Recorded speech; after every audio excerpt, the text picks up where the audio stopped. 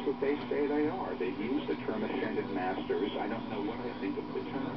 I mean, because there's sort of a, a, a history with it. It's very positive. They may remain in there that are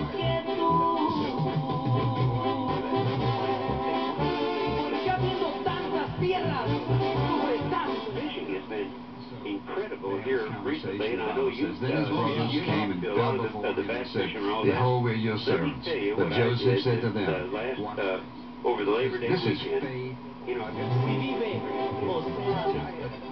much more interested in the energy that would come through. You know, because the energy is very palpable. It'll fill up a whole. I mean, I've got, we had uh, two fish dinners in a row for 20 people. And uh, uh, the crappie are, are really biting good. And I know people don't think that. Now, wait a minute. What were you using for bait? If we're going, if we're going to talk about catching crappie, All right, I